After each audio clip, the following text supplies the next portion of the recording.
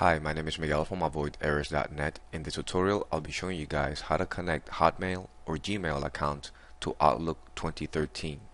Now this is really simple. In Outlook 2013, click on File, Add Account, and here enter your name, your email address, and the password belonging to that email address. I'm using Hotmail as an example. Click Next and done. Your account was successfully configured.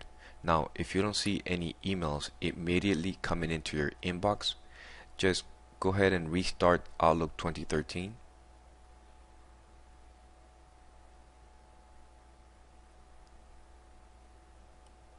and click on send and receive and everything should be fine. Thank you for watching this video. My name is Miguel. If you have any questions, feel free to post them in the comment section below. Thank you.